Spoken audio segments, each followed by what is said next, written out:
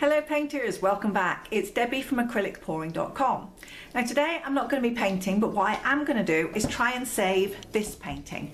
You'll find this painting in an earlier video. It was a swipe against a negative space background and when it was wet, wow, it was really really nice. But when it dried, not only was the uh, negative space, this purple colour really patchy, but it was covered in all these tiny little lumps and bumps that was in the paint. It was a new paint to me, one that I hadn't used before and although sometimes I get lumps and bumps in my white and I've learned to strain that one. I hadn't for this one. I wasn't expecting it and when it dried I was so disappointed. So I'm going to put a little um, photograph in here and you can see exactly what the lumps and bumps in the paint on this one look like.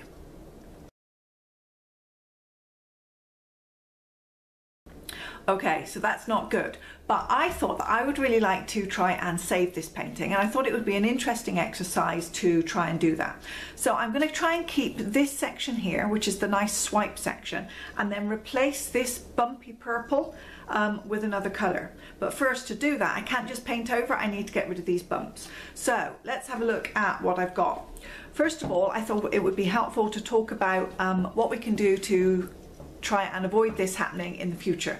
So this is how I generally keep my paints. I will mix them up in a little jug and then when I get them to the right consistency I pour them into my bottle um, including the, the paint, the Floetrol, the water and the silicone and I keep them in here, a quick shake and they're ready to go. But before I do that now, I've got myself one of these. It's just a little mini strainer as you can see. It has a very fine um, mesh to it and so now once I've mixed my paints in the jug I just strain them as I put them through into the bottle so I'm catching all the little lumps and bumps in the paint before it starts. So that hopefully will avoid this happening again and it really doesn't take me any extra time because I mix in the jug and then I just strain it from the jug into the bottle and everything's done. A quick rinse in my bucket with the strainer and it's ready to use for the next colour. So hopefully I won't get this problem happening too many times in the future unless I get too lazy and too much of a rush and forget to strain. So this is the painting that I want to change and what I've been concerned about is that if I um, sand on the surface then what I'm going to do is with the pressure that I use to sand I'm going to stretch the canvas and make it all kind of wobbly. So I have just a piece of regular corrugated cardboard and I'm going to slide that into the back of the frame and just push it down so that it goes between the gap between the, the wood and the canvas and then as I turn it over and I want to sand I'm using my hand on the back to support the canvas with the cardboard and then I can use my sandpaper over the top and not create any kind of waves or rippling in my canvas. So I tried um, a little bit in advance just so um, we could see what's going to happen and I bought some of this wet and dry um, sandpaper. So far I've only used it dry and I bought two grits. This one here is an 800 and I found this one was, um, was not sandy enough um, for want of a better word. I was going round and round and round and round and round and round and round and round and round and round and it really wasn't making any difference. So I went and bought some more this one is 220 and 220 again I would say I could still probably go a bit rougher but um, it works. So now I've got my little bits of sandpaper, I just cut them into small kind of handy pieces.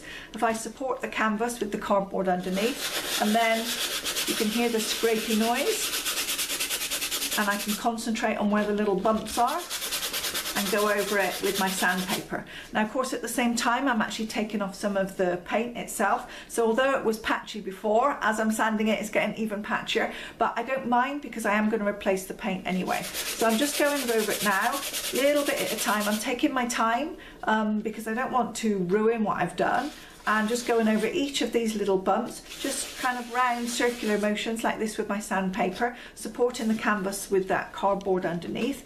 And then I'm hoping to gradually work my way all over the canvas and get a nice smooth finish and take down all of these bumps. So you don't need to see me doing that. That is going to be pretty boring.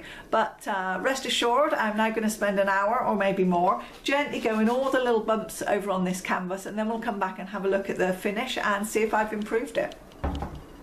So here it is so far. And I think I did a pretty good job with the sanding. If you have a look on the surface, It's a lot smoother now. All of the little lumps and bumps from the paint have gone and I've done a really good job. The canvas is still nice and taut and I've not created any little dints, divots or uh, stretching so it looks good. So um, I considered then what about the repainting and of course this purple colour was very transparent and part of the problem was on this side how patchy it was too. I mean now it's even more patchy obviously where I have um, sanded it but I'm thinking that the purple if I try and do the same again. It's just going to end up patchy. I'm going to have to do coat after coat after coat and it's going to be so dark. So I have decided I'm going to go with black and I've tested some black over on this side. You can just see. So what I did I got a small brush and I very very carefully painted up to the edge of this swipe panel. Um, I haven't gone all the way up to the edge because obviously the edge in some places is quite irregular.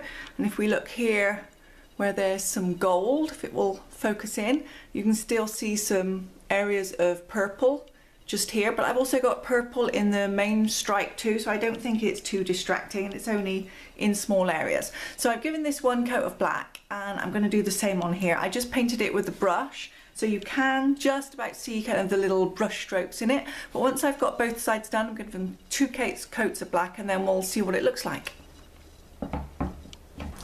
So this is the progress on the painting so far. As you can see, I've now painted black on both sides and I've done two coats of black. So the black coverage on this is really good and it contrasts really, really nicely with the bright colours here and especially the gold. You can see the gold sparkling in the light there. It looks really good. I've done all the edges and everything too. So this is now finished. I have to say I'm pretty pleased with the result. It's certainly not perfect you can see if you look carefully there's you know a few slight impressions here of where there had been a few bumps in the painting before but overall I think it's very very successful and I'm happy with the contrast now between the black and the bright colours. So I'm going to finish this with um, a couple of well probably three or four coats of varnish and then we'll see what it looks like when it's done.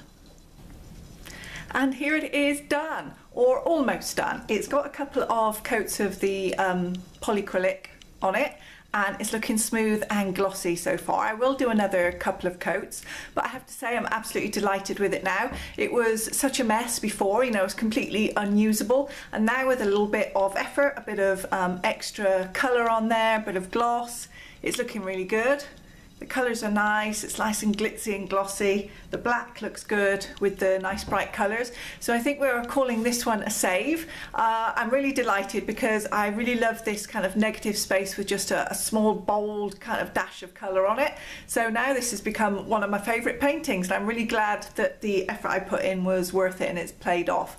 So in the event that you get something similar, you get lumps in your negative space, then know that it's absolutely possible to sand them down um, and make a lovely painting as a result. So thank you very much for watching. Hope to see you at acrylicpouring.com very soon.